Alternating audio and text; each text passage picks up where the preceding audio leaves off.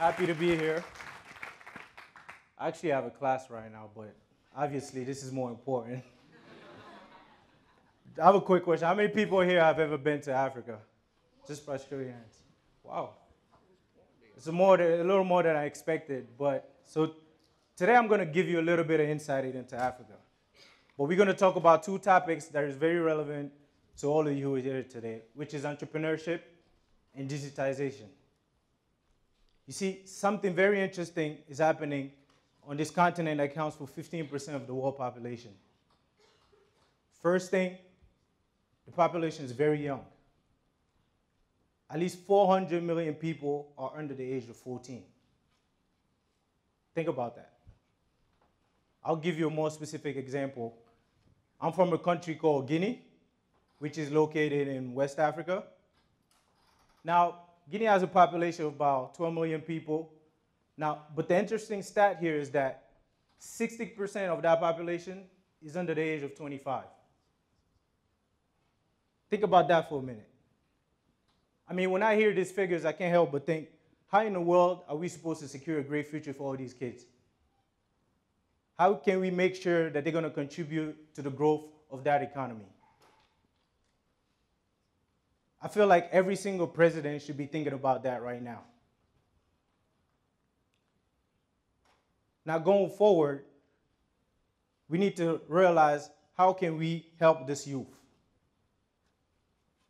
Now, the second thing is that broadband capacity has quadrupled in the last five years. The internet penetration has reached about 25%. So as I stand here today, there's at least 300 million people with access to the internet. I mean, that's as huge as the US, as the US population. I mean, and it's also huge compared to five years ago when barely 100 million people had access. But guess what? This is only a quarter of the people. I mean, we have a lot of people, too many people. I mean, the average family size in the US is what? Two and a half people, three? Now, in Africa, every parents create their starting five, just like a basketball team. I mean, that's how you make sure that at least one of your child will be successful.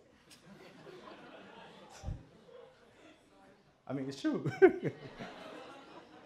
now, despite this increase in internet usage, the trend to social media and digital platforms is no different among our youth.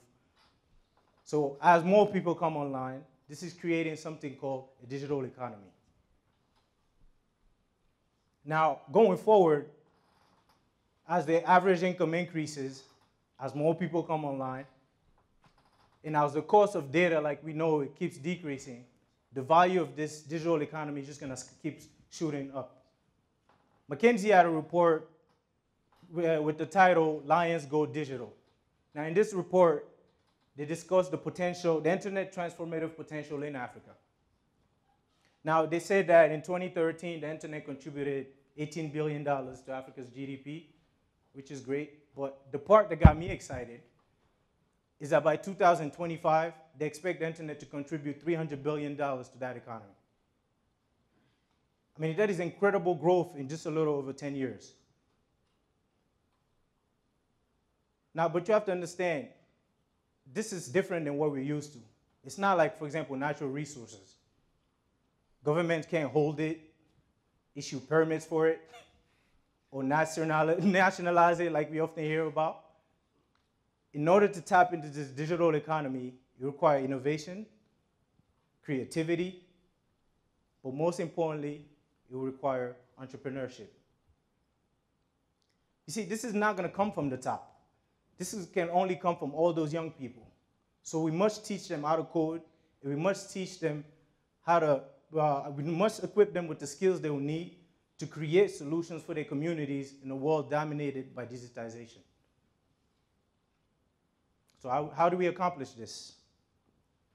That's the question I want to answer here today. How can we monetize Africa's digital economy? As being someone who is a scholar, someone who has started a digital venture, I believe there's three important things, and we're going to talk about them. The first thing is education. Now, I'm going to share an experience with you here is that uh, like Chris mentioned, I'm a part of a program called Tiger. Now, in Tiger, what we do is commercialize innovations from PhD students here on campus. So, what we do in this class is so cool because they just give us the basics of creating a venture, and it's up to us to take this product to the marketplace. So, for two years, we work with the same people, we come up with a business plan, and we compete in venture competitions for seed capital, and eventually we license the technology from Georgia Tech to take this to the market as a real business. Now, this experience with Tiger had me think, what if something like this was introduced to me sooner? Just think about the time you spent in high school. What if you had a class where all you did was work on a project of your choice? What if all you did was work on something that you care about? You can get to work with whoever you want. You can work alone if you want, if you want to keep all the, the, the, the, the profits. I mean, this could be for profits or nonprofit. You have the support of the institution, you have the support of your peers. You can continue with this project all through high school, even through college. Now, if you feel like your project doesn't have legs, you can drop it and join someone else's project or just start a new one. You see, that's what I'm talking about here. If Africa wants to tap into this digital economy, we need an education system that also nurtures entrepreneurs. 40% of college graduates in Nigeria today can't find a job.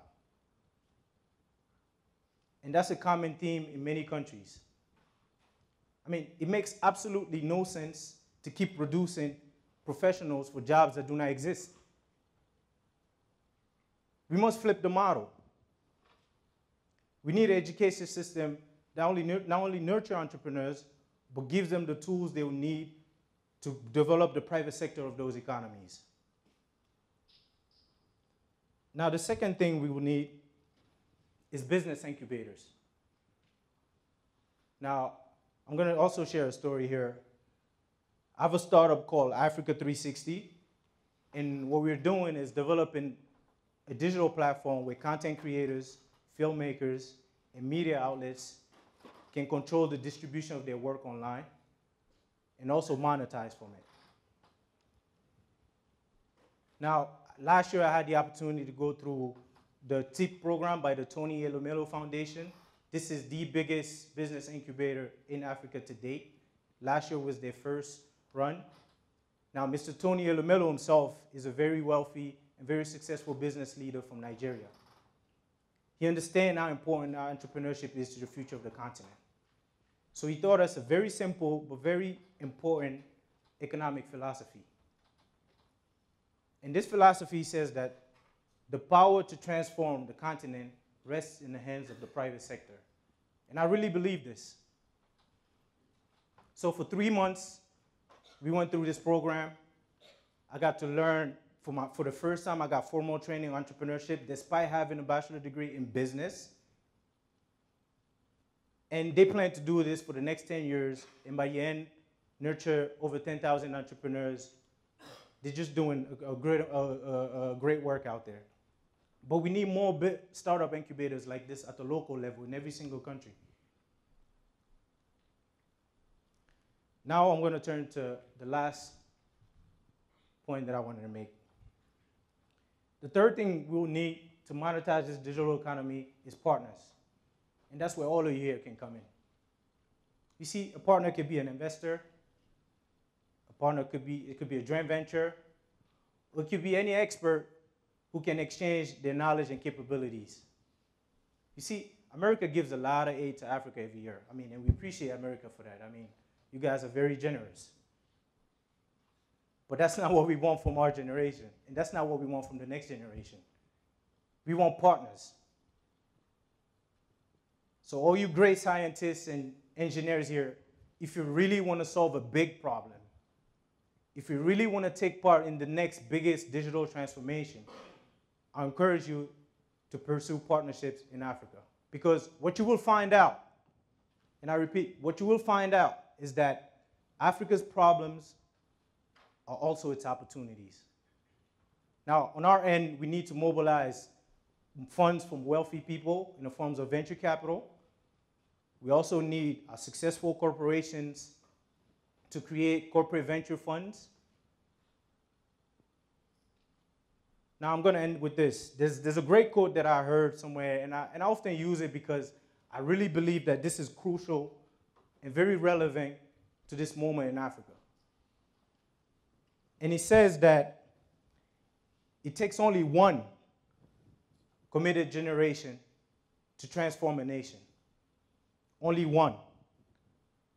Now, in the case of my homeland, Guinea, I firmly believe that this will be our generation. Thank you.